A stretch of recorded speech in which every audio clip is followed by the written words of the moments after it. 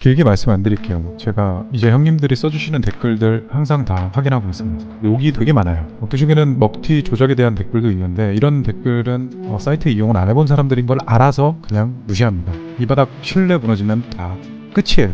쪽팔리게 먹튀 조작하면서 살고 싶지도 않고 그딴 식으로 돈 벌고 싶지도 않습니다. 또 사이트에 대한 불편함을 호소하는 글들도 봤어요. 특히 스포츠 쪽 배당이나 언오버 기준점이나 이런 complain은 의견 다 반영해가지고 운영부분 쪽 직원들이랑 이야기를 한번 해보도록 하겠습니다. 그리고 제가 도박 이렇게 하지 마셔라. 조절 좀 하시고 후회도 하시고 너안 되시면 접으셔라. 이런 말씀을 드려도 자꾸 참으식 같다고 그러시고 저도 참으식처럼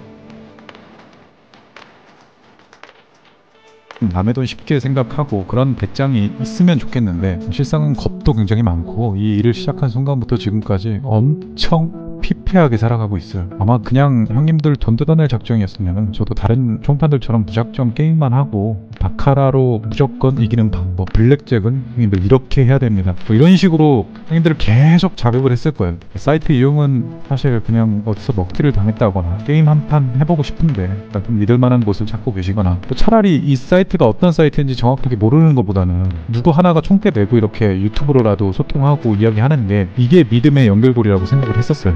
저도 그렇고 사이트 전체적으로 부족한 부분이 많은데 믿고 이용해 주시면 너무 감사드립니다.